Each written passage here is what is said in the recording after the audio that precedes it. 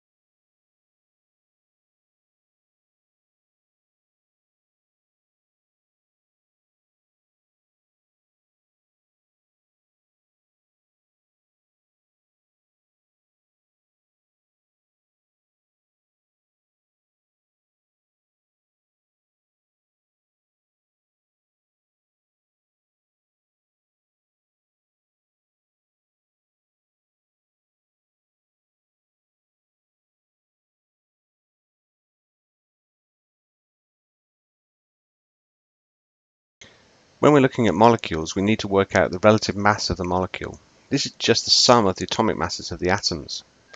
So for fluorine, I look up fluorine on the periodic table. A fluorine atom has a relative mass of 19.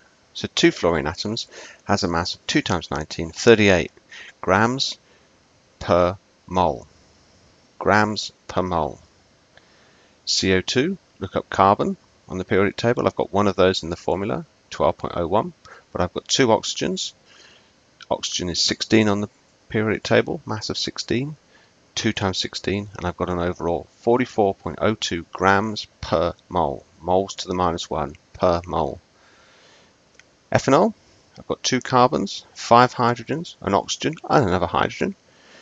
Two carbons, five hydrogens, an oxygen, and another hydrogen. Add all that together, 46.08 grams per mole, grams moles to the minus 1.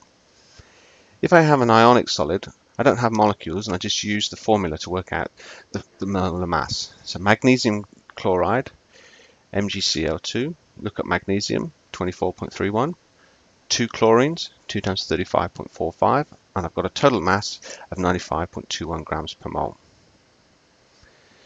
So now we can relate the number of grams of a substance we weigh out to the number of moles and to the number of particles of that substance that we have.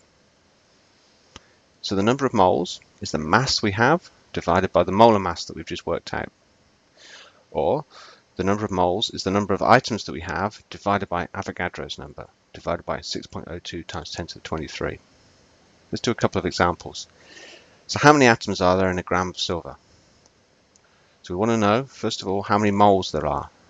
Moles is the mass divided by the molar mass. I've got one gram.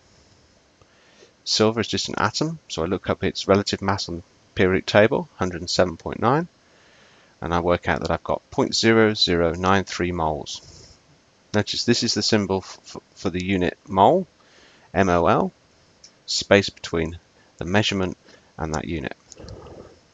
Now if I want to work out the number of atoms, I work out how many moles I've got multiplied by Avogadro's number. So I've just worked out that I've got 0.0093 moles Avogadro's number is 6.02 times 10 to the 23. So I've got this huge number of atoms, 5.6 times 10 to the 21 atoms of silver. Do a second one. Calculate the number of moles of water in 1,000 grams. The molar mass of water is 18.02. So the number of moles is the mass divided by the molar mass. Clearly I've got a molar mass of 18 and I've got many more grams of water, so I've got many more than one mole. The mass is 1000, the molar mass is 18.02. Work that out, 55.49 moles. How many water molecules would this represent? So the number of molecules, the number of particles, is the number of moles times Avogadro's number. Just worked out 55.49 moles multiplied by Avogadro's number.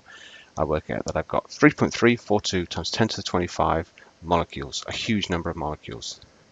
If you're not clear about the number of significant figures I've been using here, review the significant figures video and tutorial.